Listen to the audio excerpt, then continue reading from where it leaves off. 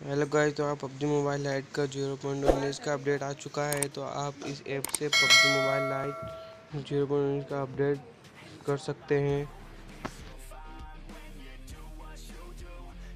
आपको search bar पे PUBG mobile light लिख लेना है।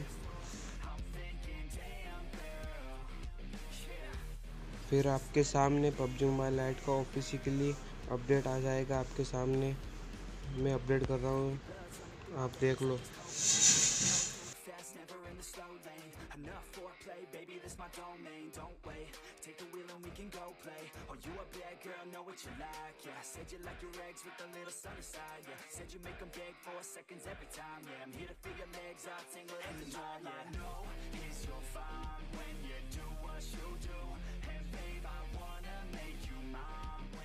आपको फेसबुक से लॉगिन करने के लिए आपको वाईफाई की ज़रूरत पड़ेगी, आपको वाईफाई किसी से ले ले और लोकेशन को ऑफ़ कर दे।